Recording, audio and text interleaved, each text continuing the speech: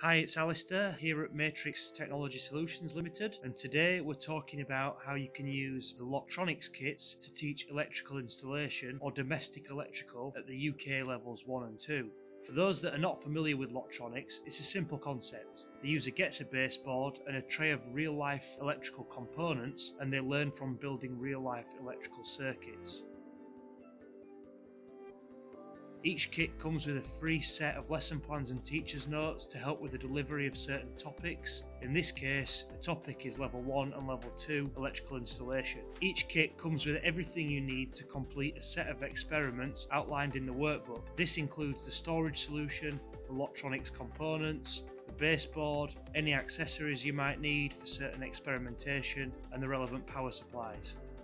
Probably the most important part of the kit is the curriculum. This is freely available on the Matrix website. It includes the lesson plans, teacher's notes, student handouts, revision notes, and it's written by a practicing teacher.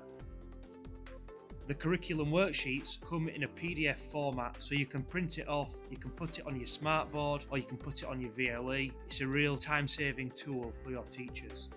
We have designed these kits around the UK City and Guilds and EAL qualifications. However, we do have teachers all around the world using these electrical installation kits for many different qualifications. After all, electricity is electricity at the end of the day. The first kit we offer at level 1 is the electrical installation level 1 kit. This kit assumes no prior knowledge of electricity and it covers basic things like electron flow theory, simple units of electrical measurement, how to use multimeters, the effects of an electric current, simple electrical calculations, AC and DC supplies, and simple electrical circuits.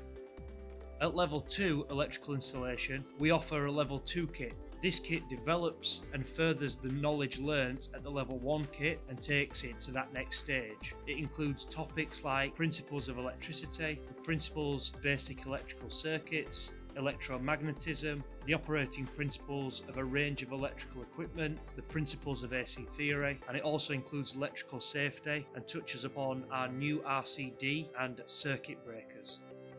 Also at level 2 we have another kit which is applicable. This kit is the Electronic Components and Circuits Pack.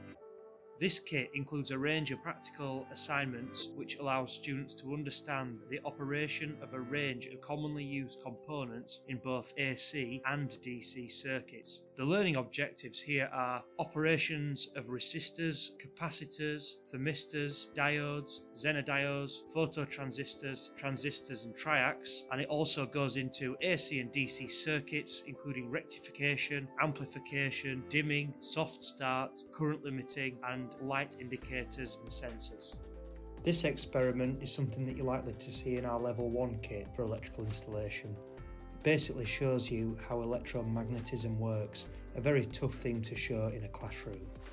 You have a push to make switch which allows current to flow through when you click on it, and a coil, and a nail inside the coil. Watch what happens when I click on the push to make switch.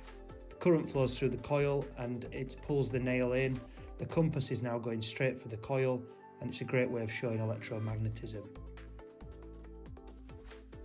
This experiment is something else that you are likely to see in our level 1 electrical installation kit. It shows you how a fuse works, so the fuse here allows current to flow through when it has a conductor laying along the top like this. See the light turns on. Now, in a fuse, it is likely that you'd see something like wire wool allow the current to flow. Now watch what happens when I insert a short circuit into the circuit using this red lead.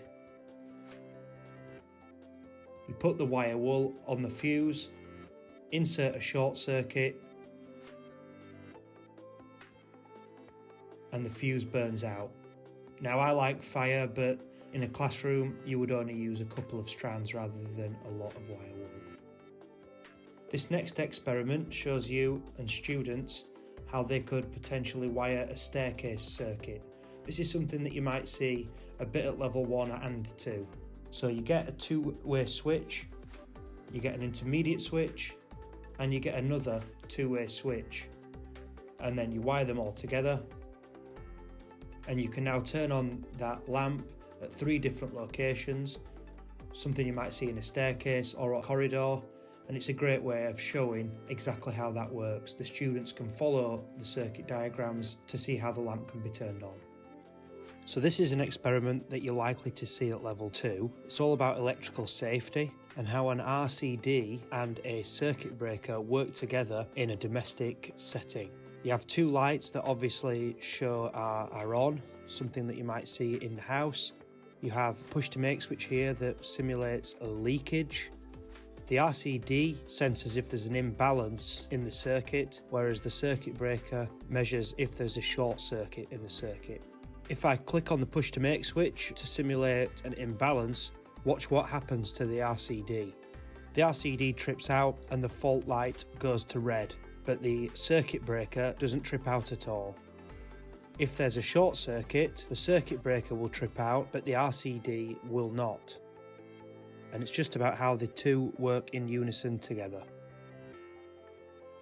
Thank you for watching. For more information about any of our electrical installation kits, please visit www.matrixtsl.com. Thank you.